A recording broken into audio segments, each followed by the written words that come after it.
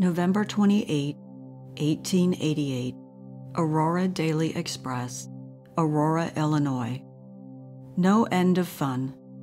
How the Norwich, Connecticut boys celebrate Thanksgiving. They go about the town gathering barrels. And then, after the turkey is eaten, what a Thanksgiving bonfire they have. Roast turkey and fixins. Phew!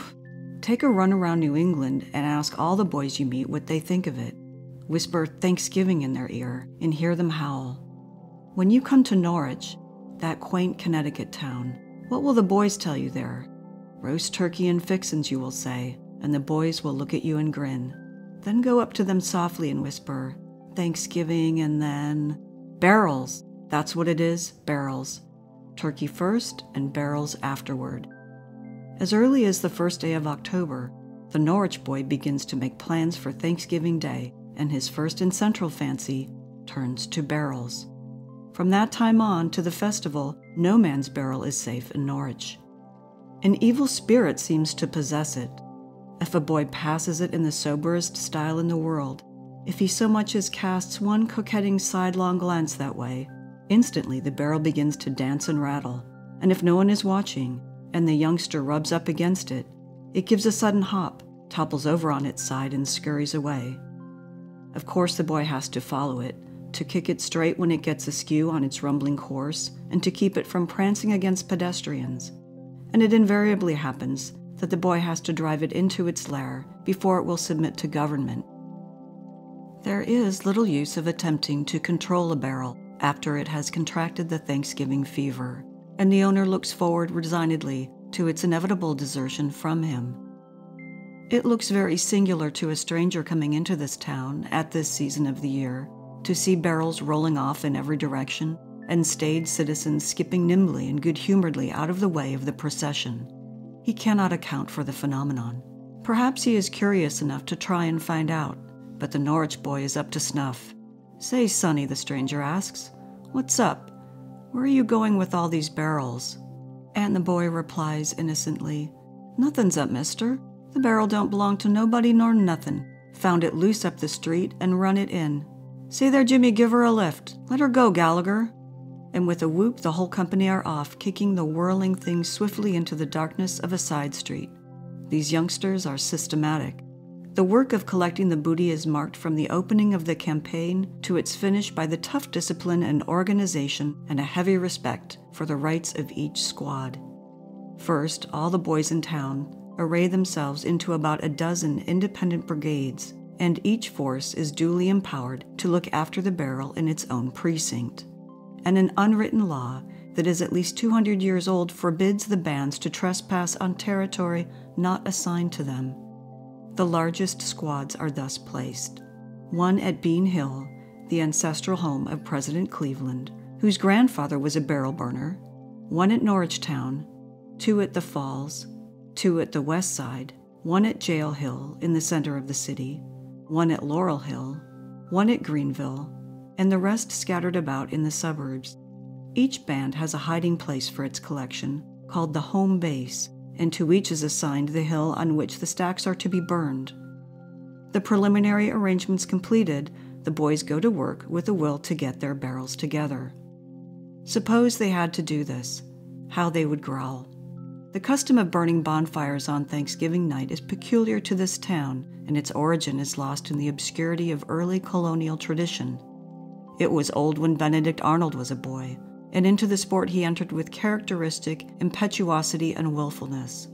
It is mentioned in the First Chronicles of Norwich, and Miss Caulkins, a local historian, describes a fiery encounter between Benedict and a solemn constable who undertook to rob him of his barrel in which Arnold stripped off his coat and dared the big man to fight. Many attempts have been made by local antiquarians to trace the custom to its source, but vainly. The only plausible explanation essays to connect it with practice that prevailed in the hill towns of the Massachusetts colony of burning bushfires early in November to celebrate the miscarriage of the Guy Fawkes gunpowder plot. It was suspected that as Thanksgiving was appointed at that period, at about November 5th, the custom attached itself to Thanksgiving after its original intent was lost, and that it was imported into this town by the first settlers a little after the middle of the 17th century. But the Massachusetts rite differs importantly from the Norwich spirit in that brush was burned instead of barrel stacks. There is nothing unique about brush bonfires, which were common among the ancient Britons and Scots. But a barrel fire is an elaborate and startling creation, a product of the juvenile genius of ancient Norwich. Boys, think of it. Think of hunting, hunting for days together, for barrels. Think of the work, and it takes work. But then it's great fun, you say. So it is. To make a lofty and successful barrel bonfire demands native tact and talent and constructive abilities. The first thing to do is to get the pole about which the barrels are to be strung like giant beads, and this usually is cut and peeled a few days before the forthcoming ceremony. A slim, straight hickory, free from knots, and not less than 50 or 60 feet high, is selected in the forest and, after it has been trimmed and denuded of its bark, it is trailed into town at the heels of a dozen sturdy boys. On Thanksgiving Day morning, it is drawn to the spot of the hill on which it is to do duty, whereon scores of citizens have gathered to lend a hand in erecting the staff or furnish the necessary advisory remarks to the workers. The barrels are quickly hung about the pole, and then comes the hard and delicate task of lifting it into the dug hole which has already been prepared for it. With long ropes and steadying guys and a hundred eager hands to help, the great hollow stack goes slowly up, the barrels creaking and rumbling loosely about its staff, and the pole is left swaying threateningly at the toiling pygmies at its base. At last it reaches the balancing point, slips easily into the cavity with a heavy muffled kerplump, and the worst of the struggle is over. The loose earth about the rim of the hole is shoveled in and tamped solidly down, and the boys and spectators walk off six rods and inspect the structure. Next, cans of kerosene are emptied over the bottom barrels. Shavings, saturated with oil, are piled inside. A few parting pats and shakes bring refractory barrels into position and make the funnel straight and symmetrical and then everything is ready for the evening fun. And what fun! The boys can hardly wait in patience for the coming of dusk, but it comes at just the right time. It comes after the turkey is eaten. You know it's turkey first and barrels afterward.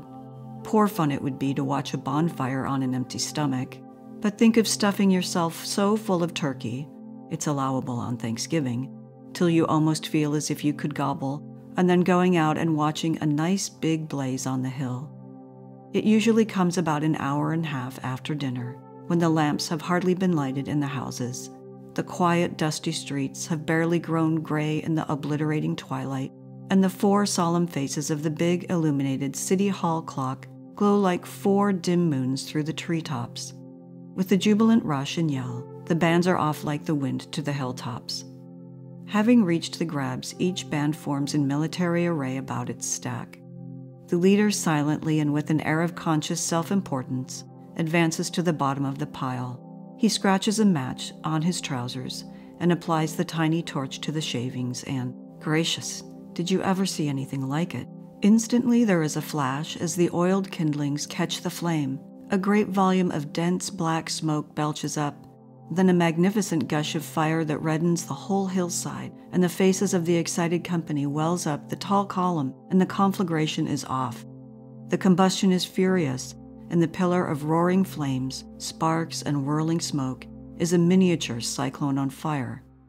The barrels writhe and twist, the staves gape asunder, and the bursting hoops leap out from the pile and, as they come down, scatter sparks and glowing cinders on every side. The conflagration is too rapid to last long, and it is hardly two minutes after the match has been applied before the splendid pyre sinks from its soaring height a mass of shattered black embers, and the lurid brightness of the hillside gives place instantly to impenetrable darkness. Barrel burning, though it is short lived, is the undiluted essence of intoxicating sport. The Norwich girls have a similar, though tamer kind of sport with which to taper off the day's pleasures. As fashion forbids them to roll barrels and burn stacks, they collect spools instead, which they string on wires, arranging them in fanciful designs squares, circles, and pyramids, saturate the creations with oil or turpentine, and meet at the house of the leader of the band and burn them. Some of the devices are very ingenious or beautiful, and they make a brilliant though unpretentious bonfire. It's great, isn't it?